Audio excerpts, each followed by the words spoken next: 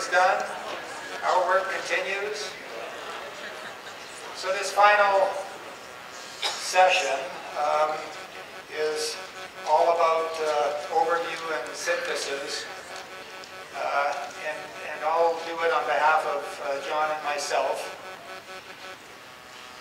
It's, it's, it's trying to, to hit the highlights of kind of where we're at in, in this discussion, in this development of a, of a national recreation agenda. It's, it's clear that there are at least uh, three main uh, sectors providing parks and recreation services in our communities. Uh, the private sector is burgeoning, it's growing, it's growing faster than the public sector, it's meeting lots of demand, it's healthy uh, in, in, most communities. Uh, but it's not the kind of sector that is crying for a national agenda. It's responding to fleeting demands and trying to change it uh, every month uh, to, to, be viable and, and, profitable and to work with us.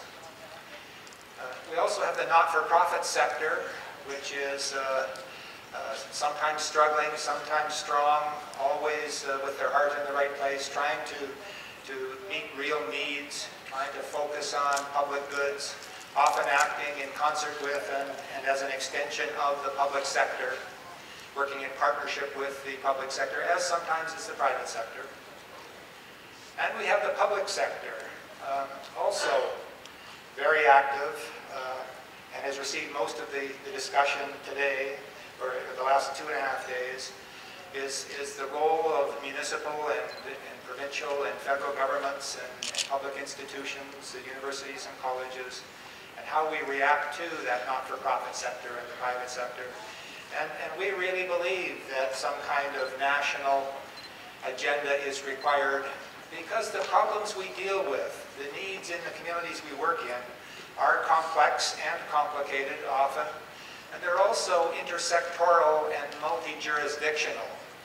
And so that's the need for some kind of a plan, some kind of a, an overview, some kind of an identification of roles is uh, what is the role of the federal government, the provincial governments, the regional governments, local governments, institutions? How do we relate to and find our relationship with uh, those other two sectors?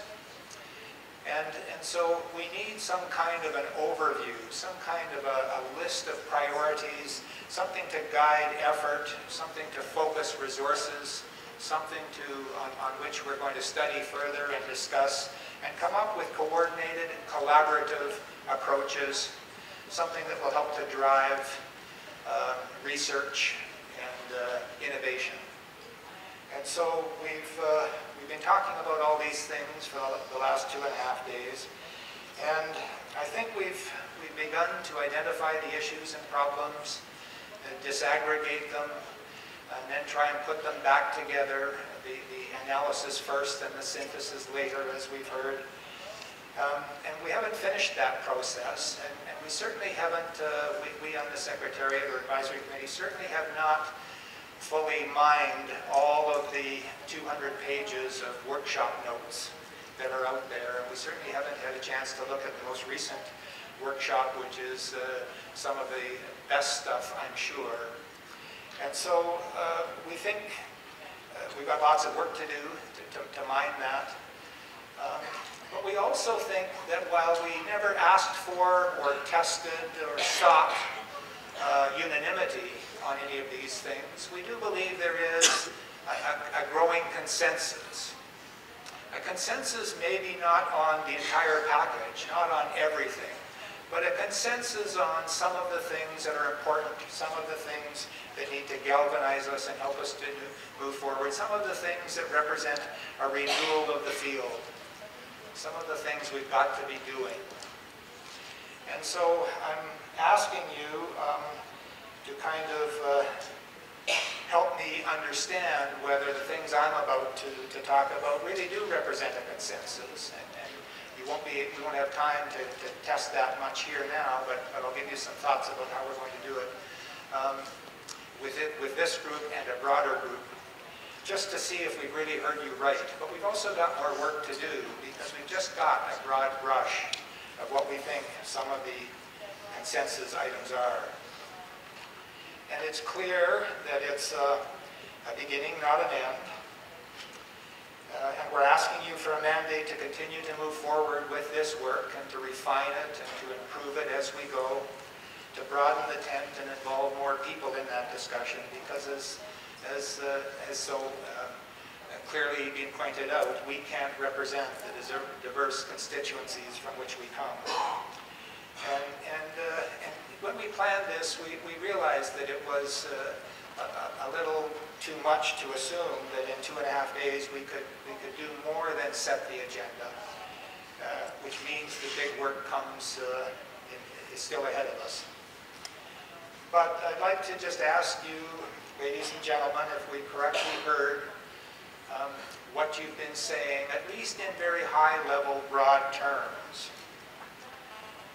And so what I think you've said is we need a vision we haven't talked about a vision and we haven't crafted a vision.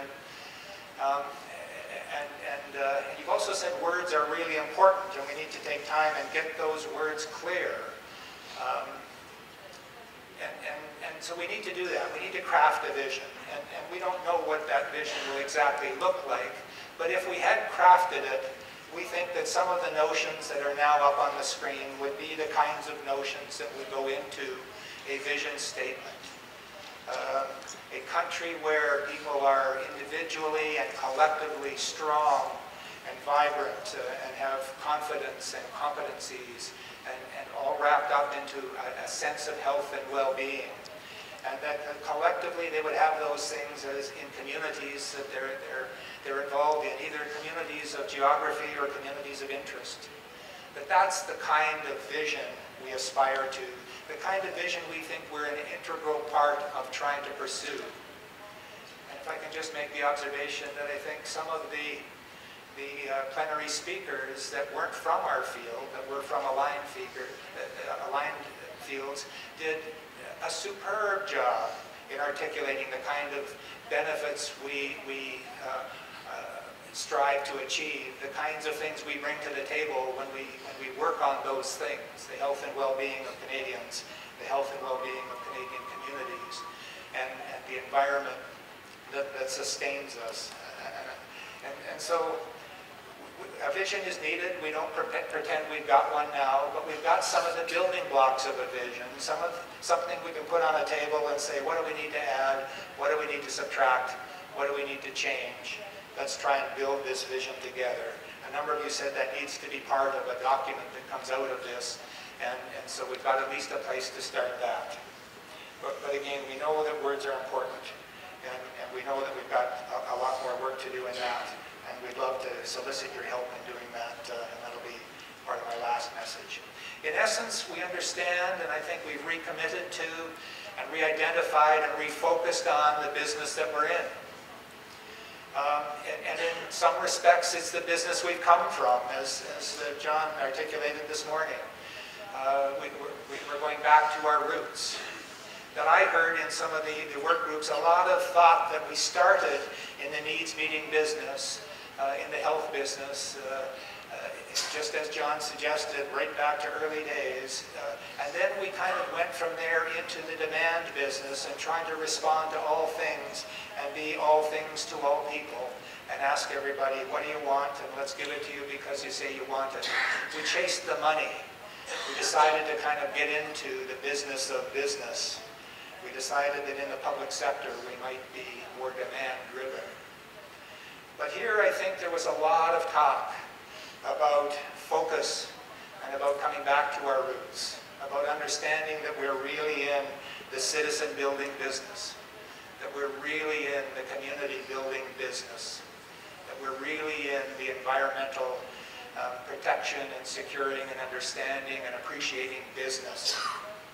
That these three legs of the stool that we've always sat on, we've always understood were our core, are our core still, and, and represent the, a need to refocus and to go back to, and to create a promise that we can deliver on. We understand that more than ever, we're aligned and need to collaborate with and need to coordinate with a whole bunch of others. And and there, that there's almost nothing we can do alone. That while we might be strong as our agencies of Parks and Recreation, that we, we, we will be successful through others. And in fact, the more that we can help others to achieve their agendas and their goals, the more relevant we will be and the more successful we will become. That we're really in the business of health and health care. We're really in the business of individual well-being and, and confidence and competence and, and feelings of welcomeness and inclusion. That we're really in the education business for people at all levels even though our public education systems only take people from a certain kind of uh, 5 to 18 slice, we, we, deal with people at all levels of, of uh, ability and, and uh, all age ranges, and, and, we really are in the education business. That we're really in the justice system business, and, and we're about creating safer communities and keeping kids off streets and reducing antisocial behavior. We're about um, making communities more inclusive and cohesive and better places and safer places to walk at night. We're in the social services business. We, we, we heard how closely paralleled the notion of recreation is with, with uh, reduction in social problems and antisocial behavior. We heard that from people outside our field and from people inside our field. We're solutions-based. We need to be more strategic. We need to understand that we're, we're part of a bigger whole and that we're not going to be arguing about sectors and, and uh, where, where we leave off and others begin. That we really are in the business of recreation and sport and fitness and arts and culture and active living and, and outdoor recreation and all of those other parts of who we are. And there aren't kind of ends of us and beginnings of them somebody said in one of the workshops, we can't be condescending and going and saying, um, come and help us achieve our objective. We've got to go in as equal partners if we're going to have real partnership. We also know now, at least I learned in this event, that we're in the wicked problem-solving business. Uh, I thought we were in the citizenship building and, and community building and environmental sustainability businesses, but we're really in the business of solving problems, and, and we've had those defined to us. We know we're part of something bigger. We know that the promise that we need to deliver on is a big part of something bigger than ourselves, something many of you have called the quality of life sector. We're, we require more solutions, we require more focus, we require a bit more commitment, we require a number of things that uh, we don't know quite what to call, but we're currently calling overarching issues or assumptions or tenets, things that will drive all of the, the items that will be on our agenda, whatever that agenda is. Uh, these might be values, they might, they might morph into a set of values or, or something else, and it's probably not inclusive, and, and I apologize for that, but, I, but as a place to start that, we've got uh, initially 10 of what we call the overarching kind of principles that will drive us, uh, that relate clearly to a renewed understanding and commitment to the business we're in. And the first, of course, is just the business we're in, the three pillars that support us and sustain us. We also need to, to have a very clear vision that we can be accountable to and, and, uh, and, and is relevant and, and will help us all to very clearly understand the, the direction that we're headed and the, the very significant role we have in, in getting there. We believe we need to be anchored in a renewed national recreation statement. But there's been many comments in the commission papers and in, in the uh, plenary addresses and in your workshops about how sustainable that, that document was. That while it was great in 87, much of it is still great, and the definition of recreation is still quoted, and the list of uh, roles and responsibilities it lays out are still espoused to some degree.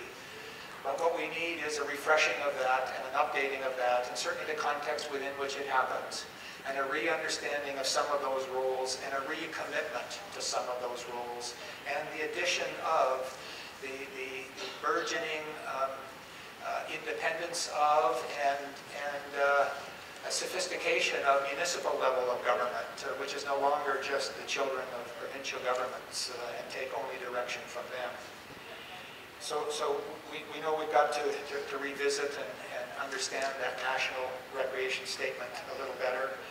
Um, and, and that's part of what, what has to happen. It isn't necessarily a strategic direction we're going in, but we're calling it right now an, an overarching piece that needs to be done to help kind of drive effort. We also know that we need to become less focused on reacting to all the demands in our community and competing with the private sector in that respect and, and going after the revenue uh, and serving mostly middle and upper class Canadians and responding only to demand and saying uh, we're in the business of asking people what they want and giving them what they want because they say they want it. And we need to be not just focused on those direct benefits to users like the private sector is.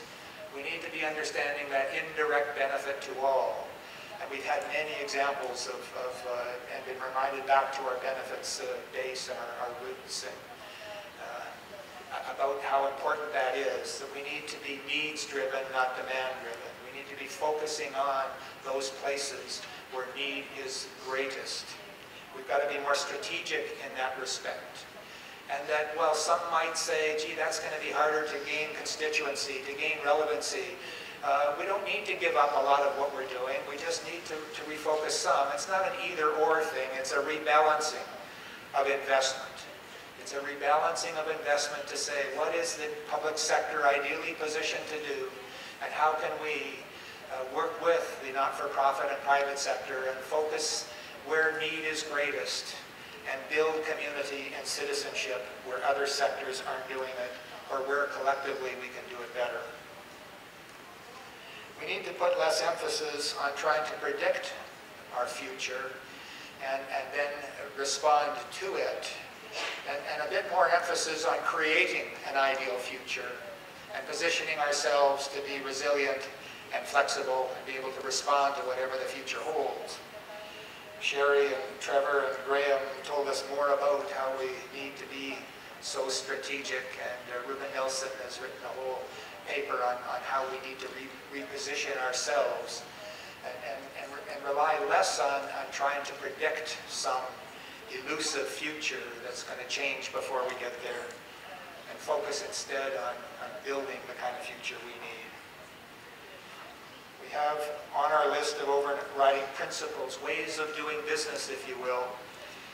We need to foster evidence-based research, and there's a lot of it out there, and much of it's now being done by Allied Fields and other people, and we heard a lot about that uh, in some of the plenary addresses, an amazing amount of information we can take and use. But we need to do more, and it needs to focus in our core areas, needs meeting and our role in we need to adopt explicit processes for continuous improvement. We've got an excellent model in Alberta that's emerging, the service excellence model, that talks about a continuous, regularized process of evaluating how an organization is advancing and making progress in meeting needs in a community and how we can, we can document that progress in, in a very uh, systematic and, and, and formalized way to show progress. We know we need to be more accountable and, and, and in our measurement system. Performance measures will be where it's at. But we've heard how vital it is to make sure we're measuring the right thing. Because one of the rules of management is that what you measure, you get better in. So let's not be counting noses and understanding how many people we're serving and how much revenue we're generating. Let's not, let's shift from output measures to outcome measures measures tie our activity to the goal that, that triggered it and justified it initially. Let's measure that kind of progress, whether we're really making change, whether we're really focusing on positions, as John talked about, whether, as Christian talked about, we're really making a difference uh, in, in, terms of, of, of what we're doing. We need to focus more on citizens than customers. We can't ignore customers. We've always had a good focus on them. We'll continue to provide excellent service to customers. We'll continue to deliver direct benefits to users. but we must always have a mind on non-users or, or infrequent users, people who are paying to help subsidize service that they're not directly benefiting from. This notion of indirect benefit, which is the definition of public good, needs to be top of mind in all we do. I heard a number of you discussing that in work groups and, and articulating it better than, than I can today, but, but it's, an, it's an important piece, an important cornerstone of everything we need to be about is, is making subtle shifts, not thinking about um, uh, dropping something completely and adopting something else, but just refocusing, rebalancing, recommitting to some of the things that are most important. We know as we move forward, we have to be very careful about the words that we use. And we know that we're, we, we need to be involved in a whole lot of other things. We need to be involved in indices of well-being in our measurement system. We need to be demonstrating to non-users how relevant we are. We need to be measuring things that they'll find compelling. And all of those things need to drive whatever is on our agenda. And I don't think we have a complete list of agenda items just yet. But we do have currently about nine, or uh, and, and if we'd been able to listen to more of our workshop uh, discussions this morning or review the notes from them, we might have 10 or 12 or 15 on this list. But we know we've got some candidates for items that will need to be on a national agenda, or at least I think we do. And these in no particular order. Uh, uh, include some of some, some things like we need to lead and be part of and be a, a very important uh, partner in the whole after-school agenda uh, because uh, we know now that that's when all of the bad happens between 3 to 6 on weekdays. And uh, we also need to reprioritize unstructured play, the value of unstructured play at the core of our business fun for the sake of fun. I'd really encourage you, if you haven't uh, watched um, Carl Honore's 45-minute uh, video, uh, to, to, to uh, supplement your understanding of what he said here on Sunday night with, with a viewing of that video about the tremendous value about how kids involved in unsupervised, unstructured, informal play grow up to be more productive, well-rounded citizens. We know that's part of our, our, our roots and we, we recommit to it through this agenda. We know, we know we need to incorporate na nature into our neighborhoods. And that doesn't mean we abandon people leaving neighborhoods to go to nature, but we need to make sure we're part of urban design, that we're part of building the kind of neighborhoods that are friendly and walkable and safe and, and, uh, and pretty and, and feel comfortable. And we've heard the compelling evidence about how much impact that has on people growing up in neighborhoods with and without access to neighborhood. That, that amazing slide um, that, that, Richard Louv showed us about those, those, uh, those neighborhoods and, and uh, sorry, it was Sherry that showed us the, the, slide about those, those different blocks, one with trees and one without, and how the difference in the health of people as they grew up in those different kinds of housing developments. We need to make sure that healthy choices are the easiest choices, the most convenient choices, the cheapest choices. We need to be about social inclusion. Got to find ways of involving people who aren't involved now, and that's got to be in making settings they live and work and play in to be much easier to live and work and play in, and to make the kinds of choices we know will allow them to grow up to be healthier and more productive citizens. We need to live equity and access and social inclusion in everything we do. We've got to be focused on that. We've got to make that a top priority. We've got to understand that as we refocus on needs and those most vulnerable and those in most need, we've got to involve them in the planning and we've got to make sure that they get access. And, and we believe that that will, in, actually translate into more relevance. And those people who are paying for that service and wondering what direct benefit they're getting, we're going to be able to make that message to them. And if we don't give them that message properly, others around us will. The people in the health and education and justice system will. We need to be seen as a major contributor to major and physical health of Canadians. That goes without saying. It's got to be on our agenda. We've got to make sure that we're part of the new health uh, agreement that's going to be negotiated in the next few years. We've got this awful disconnect in health and social services where, where uh, health and social services are mandated to be a provincial responsibility and are funded by provincial and territorial governments. And yet we at the local level, puppets on a shoestring, are delivering the solution to a problem that isn't ours, it's somebody else's. And how do you go to your local council and say, we can increase health and we can reduce social problems? And they'll say, yeah, but what's the benefit in it? You're just helping the provincial government with their mandate, their budget. We've got to find a way of, of reconciling those problems. We've got to foster volunteerism. It's in trouble. We've got to re-remember that volunteering is the highest form of recreation. We've got to re-understand what drives volunteers and meet those needs in because that's valuable in and of itself, regardless of, of the extra benefit they give to the community by volunteering. That they become better citizens through that volunteerism, no matter what their age, six or 60. We've got to help people to, to recommit to volunteering, even if it's in a different format and in, in, shorter chunks and for particular projects rather than for years at a time.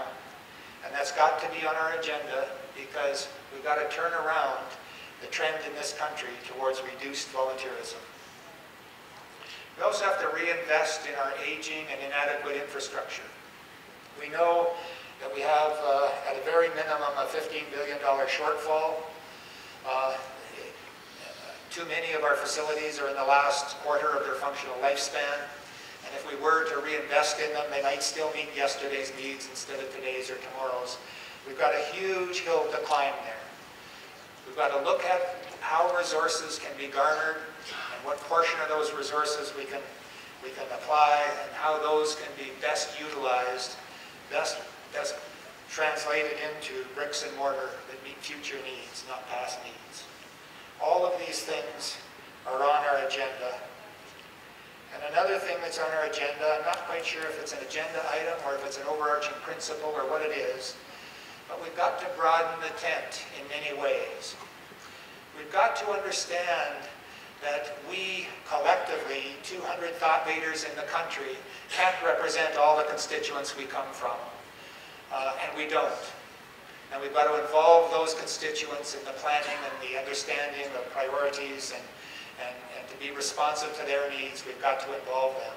But we also need to broaden the tent in terms of jurisdictions and, and sectors. We've got to work with these other partners. We can't be insular. The, the pup tent that we heard from one speaker has got to be made into a great big circus tent. And that's critical to our success. And there's a whole bunch of other things that maybe could be or should be on our list of national agenda items that right now only has nine items on it and 10, 10 items of overarching kind of principle. And, and I don't know what they all are, and, and, this list will, will grow, but there's a bunch of additional pieces on it that have been mentioned several times in several workshops and need to be more clearly articulated. And we'll mine those 200 pages more carefully as well as all the pages that have been created this morning. And, and we'll try and understand that better as we put our documents together. But we know that there are some things, including our, our national information sharing and database systems to, to get that. This, this event was a remarkable success story in terms of how you can use LIN to share information and, and deal with relevant. Need to update, update the preparation of our practitioners um, which involves uh, recruiting and uh, educating and training and mentoring uh, uh, to make sure that we've got the right practitioners for tomorrow, to make sure that the skills relevant for tomorrow are, are, are in the hands of the people delivering the services. We've got to take some of the stuff that on Rick's, are on Rick Gilbert's uh, edges and bring them into the core. I think that was evident as, as he talked about some of those items around the edges. I think almost everybody in the room I was seeing nod, nodding when he talked about some of the things on the edges need to be brought into the core. Uh, perhaps not all, but some of them. We need to design neighborhoods around recreation, as Richard uh, talked about. We need to use allied fields to help market, sell, make our case, interpret our objectives, uh, garner more resources. We need to be proactive about climate change.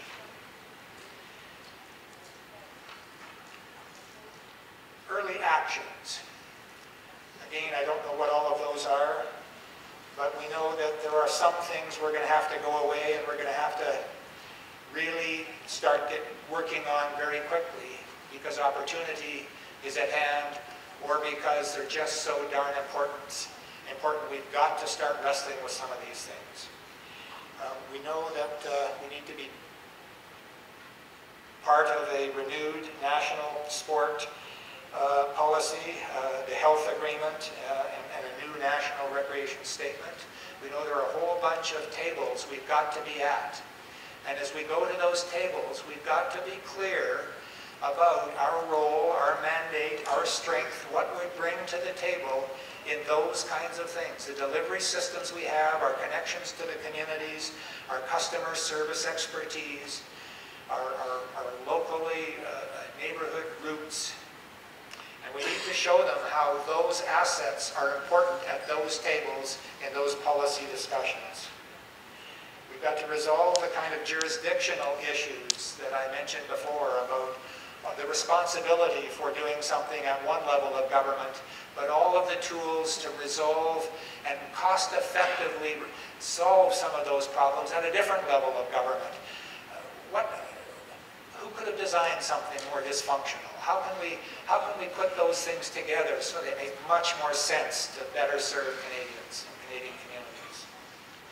We've got to focus less on the science of proving some of the benefits we know are true and, and do what John called create the, the conceptualization nexus, the understanding whether it's true or not that we're good.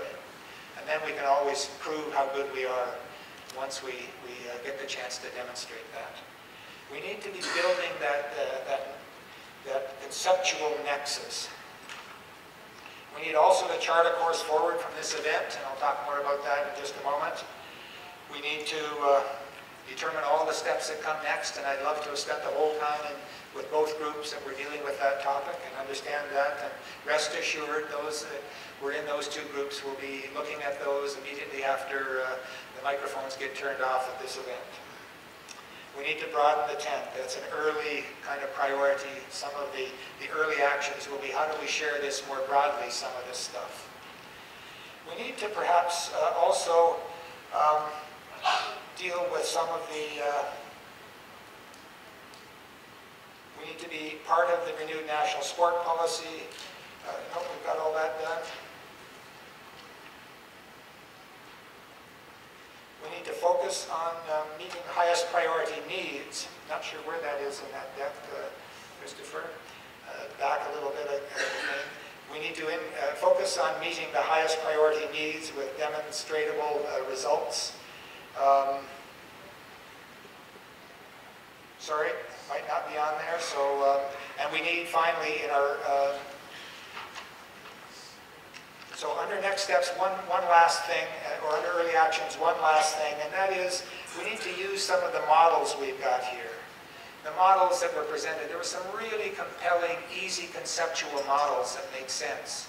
Uh, we had a great model from uh, Mark uh, Anilski that, that, I don't have up here actually um, about uh, some, of those great relationships. And then we've got models about, uh, so we've got a resiliency model, we've got a, um, a, a, model about uh, poverty, um, and, and, we've got uh, a model about how we can be involved in, in health and, and, community building. So we've got a whole bunch of these, these great models that we need to take a look at and pick and choose from, including Rick Gilbert's model and a, and a bunch of others. There are wonder, a lot of really good conceptual tools we can use to help deliver some of these, these, uh, these messages and understand some of of, of all that, the other words that I just gone over and, and uh, be able to articulate them more clearly. And so that's our beginning. We always said it would be a, a beginning rather than an end. And so in terms of next steps, Um, we've got our, our work cut out for us, and I would suggest to you we've all got our work cut out for us. That I'm hoping that every one of you can take something away and can actually start working on it tomorrow. But there's also a lot of collective work to be done and collective effort that needs to happen. So we're going to prepare a version of this presentation and we're going to have it um, in your inbox or on the website. It'll actually, sorry, it'll be on the, the LIN website um, very quickly, within hours. You can read it on the plane on the way home, some of you from Calgary. Um, and, and, we need your reaction to it. And, and, and what we'd like to do is frame your reaction to this first cut at the kinds of candidates that need to be included in a national recreation agenda and we want you just to answer three questions. What's missing and needs to be added? What on there do you believe should be deleted? And what's on there but needs to be changed in some respect? So if you could respond with an add, modify, delete email uh, or a, comment uh, back to the ARPA office to start with, we as a secretariat will be looking for that, but we need it quickly. We want this document to start to share, and we're not going to share it the way it is yet until you get a chance to look at it. You haven't had a chance to even say if this makes sense yet. And so in our spirit of collaboration, something we wanted to model all the way through the event, we need a final bit of work from you in helping with this bit of, of uh, agenda that we're trying to build. And so we're going to ask you within a week, within seven days, try and give us some comment while it's fresh in your mind. What were you talking about that isn't on here that really needs to be added? And we'll consider that and go back through all the notes and, uh, and, and what on here needs to be deleted and what needs to be reframed. And then we're going to start to distribute some of this stuff. And we've got three potential deliverables. And the uh, Secretariat has agreed to continue working and the National Advisory Committee has agreed to continue working through a process of trying to determine next steps and who we can hand the ball off to and start to parcel out things and say, when can we have this document ready for that event and to be sitting at that table for that agenda. And we're hoping all of you will be part of that. And some of it will be done on your own initiative, in your own view, uh, just because you were here uh, without consulting with anybody else. And others of you will be part of a provincial organization that might take something to a provincial table and discuss it and, and further it through a provincial resolution or policy or initiative or, or, or new program. And some of you will be part of a, of a higher level effort, a, a more collective national effort to try and put some things in front of uh, ISRC and the ministers of health and, and uh, a, a, an update of the national sport policy and some of those kinds of things. But the three uh, uh, deliverables we've currently identified are this little document that I'm talking about now, which includes these 20 slides or so, but turned into a Word document with some, so the bullets turned into sentences, and, and we've got uh, somebody helping us, uh, Cheryl McCaffey, who's a wizard at that, um, and, and put that on the website uh, within hours. And, uh, and then we're going to try and improve that and then just start distributing that uh, once we've, we've considered all your input, but give it to us in the next week. The second report will be a, a kind of a, a, uh, an event report, a summit report. Uh, will almost be written in the form of some kind of a, a, uh, a policy ask of the deputy ministers early next year uh, when the uh, ISRC and deputy ministers all, all collaborate to talk about uh, some of the things they've got on their plate, uh, including after-school agenda and other things. And, and we need to take some of these pieces and say which three or which two or which five or which one are we going to take forward in that vein, uh, which pieces of the report get turned into an ask. And, and then we're going to produce a proceedings document, uh, something that includes all of the stuff. Now, I don't think we're going to, going to include the verbatim transcript of all of the workshop notes, but we're going to include the gist of, of, of all that you've said in some way, shape, or form out of respect for your taking the time to provide it. We need to, to make sure we honor that, and, and we'll do that. But, but I, we just don't know what that looks like yet. And that might take us longer, and it's a bigger document, and we'll put it together, and everything will be available on LIN. Okay? So that's where we're at. My final slide is just a great big thank you to the uh, last 65 hours of your time and the hours you put in reading the papers before you got here and, and thinking about and preparing for this event and all the time you're going to put in making this thing sing, making this thing work, helping to implement and helping to refine and then implement a lot of the initiatives we talked about today.